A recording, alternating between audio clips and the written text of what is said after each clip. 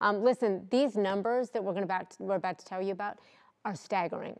One in three people who die by firearm in Cuyahoga County committed suicide. The Academy of Medicine of Cleveland and Northern Ohio is encouraging physicians to do their part by advocating gun safety, especially to parents. Senior health correspondent Monica Robins explains. It's no surprise that guns are the number one method of suicide in Ohio, but the risk to kids is even greater. So unfortunately, firearms uh, have become the number one leading cause of death in our children and our teenagers you know, far exceeds motor vehicle accidents and anything else. According to the Ohio chapter of the American Academy of Pediatrics, 50% of suicide survivors made the attempt within 20 minutes of their decision.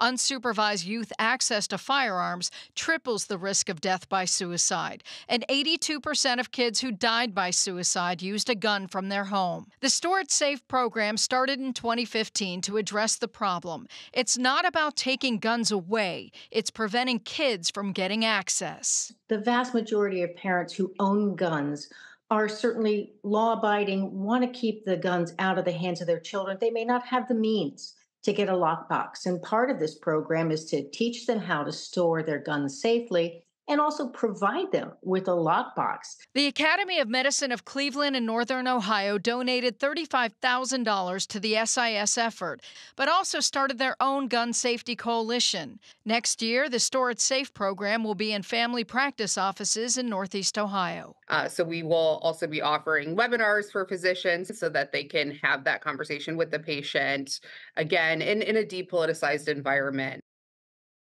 Now, the Gun Safety Coalition brings in trauma surgeons, hospitals, police, and community organizations, all looking to decrease gun violence in our region. And they say by joining efforts, they hope to reach more people and make a bigger difference. Okay, important work. Monica, thank you.